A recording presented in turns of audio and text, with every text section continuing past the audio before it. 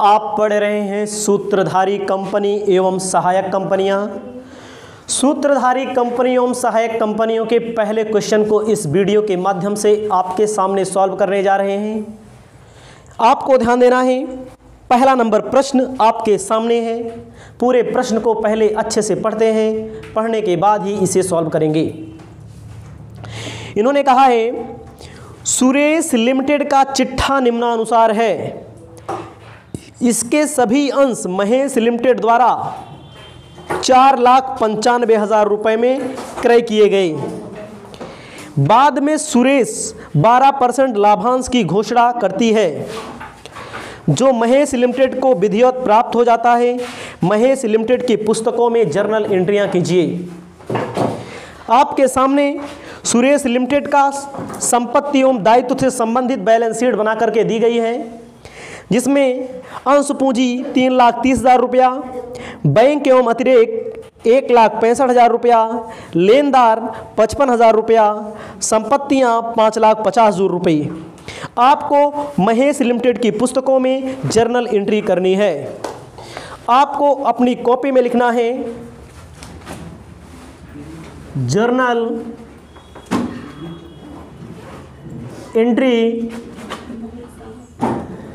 in the books of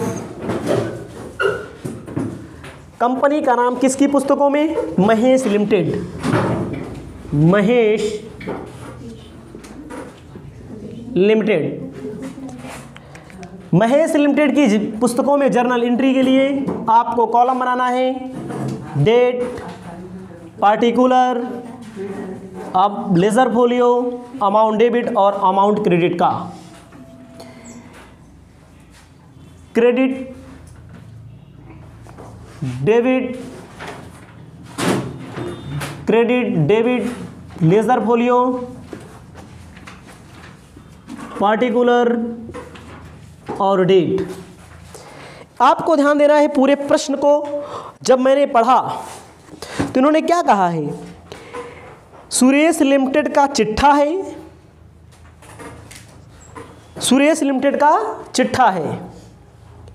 और इसको खरीद कौन रहा है? महेश। लिमिटेड। हम लोग महेश लिमिटेड की पुस्तकों में जर्नल एंट्री कर रहे हैं ना? हम लोग महेश लिमिटेड की पुस्तकों में जर्नल एंट्री कर रहे हैं।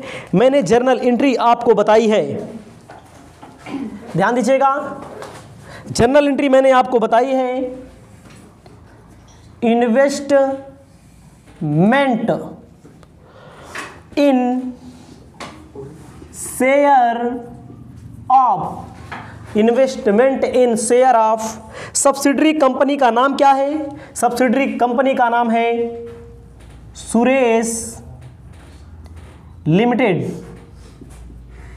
Debit. Suresh limited को कितने में रुपए में खरीदा जा रहा है?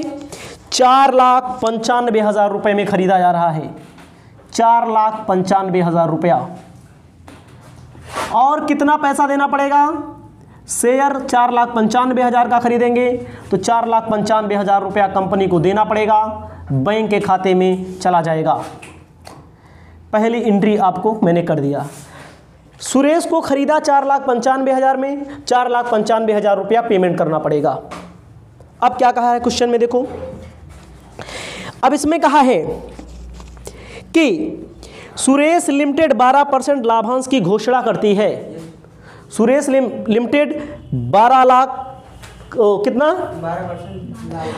12 परसेंट लाभांश की घोषणा करती है। 12 परसेंट लाभांश आपको निकालना है। ध्यान देना है 12 परसेंट लाभांश कैसे निकलेगा? किस पर अंकित मूल्य पर निकाला जाता है लाभांश इसको भी आपको ध्यान देना है। तीन लाख तीस हज़ार का बारह परसेंट निकालिए। गुड़े बारह भागे सौ। उनतालीस हज़ार छः सौ रुपया लाभांश की घोषणा करेगी तो महेश कंपनी को मिलेगी। Bank account debit. To, dividend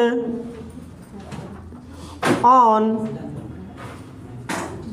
Suresh limited. कौन देगा? सुरेश लिमिटेड देगा। कितना पैसा देगा?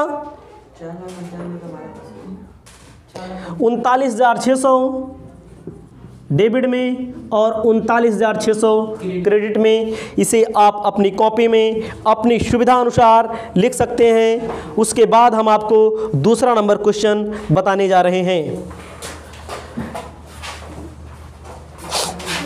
यहाँ पर आपको ध्यान देना है डिविडेंड ऑन शेयर लिमिटेड है। डिविडेंड के स्थान पे यही पैसा लिख देंगे। डिविडेंड पैसा यहाँ लिखा जाएगा। यहाँ पर अगर आप ए वाला पैसा लिख देंगे, ए वाला शब्द तो आपको ज़्यादा सही रहेगा।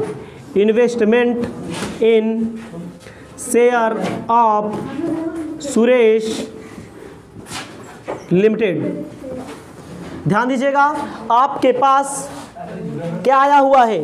आपके पास सुरेश का बिज़नेस आया हुआ है, ठीक है? हम लोग महेश क्या कर रहे हैं? सुरेश का बिज़नेस आया हुआ है। सुरेश के यहाँ आपने इन्वेस्ट किया है, पैसा आपके पास से गया है। ये जो उनतालीस हज़ार छः सौ रुपया किस पर निकाला गया?